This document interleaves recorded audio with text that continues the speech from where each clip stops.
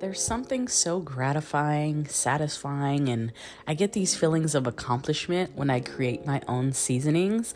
I just love to be able to whip up simple ingredients and make spices that are ready to go. Welcome to episode four of Seasonings and Spices. Today we're making homemade bouillon powder, which consists of very simple ingredients, you guys. It is vegan, gluten free, dairy free, soy free, and non GMO. So the main ingredient in this recipe is nutrition nutritional yeast. Nutritional yeast is loaded with vitamins, minerals, and proteins. It's a completely natural food.